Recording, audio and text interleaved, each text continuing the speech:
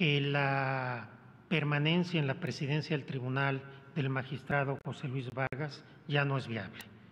No hay condiciones para que él siga eh, en el cargo que él dice que sigue ostentando y me parece que con realismo y responsabilidad debería de dar un paso al lado y permitir que se retome el canal de institucionalidad por el tribunal y que la mayoría decida quién debe ser la presidenta o presidente del tribunal.